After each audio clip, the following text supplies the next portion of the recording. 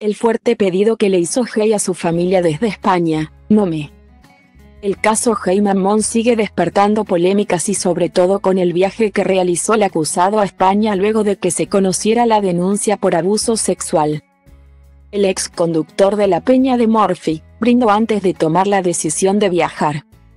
Dos entrevistas primero con Jorge Rial y luego con Baby Echecopar.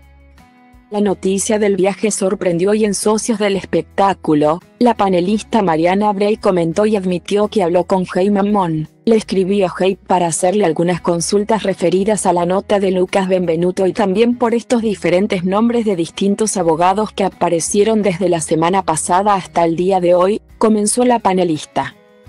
Luego comentó qué es lo que le respondió Mamón. Hola Marian, ¿qué haces? Yo en España tratando que mi cabeza esté en otro lado pero sé que es difícil despejarla. Aún no tomé ninguna decisión, fue la primera respuesta que dio Hey Mamón.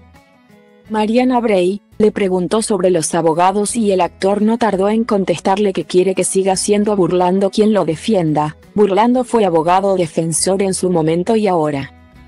En este caso sería abogado según sus deseos. Lo que Hey quisiera es que Burlando sea quien me defienda y me represente a mí como querellante fueron las palabras textuales de quien ahora se encuentra en España.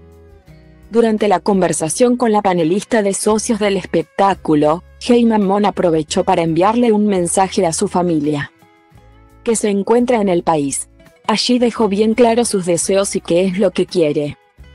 Luego de consultarte el tema del abogado y de que él sigue teniendo el deseo de que Fernando Burlando sea quien lo represente, Mariana comentó el pedido que le hizo Mamón a sus familiares, le pido a mi familia por favor que no me mande nada.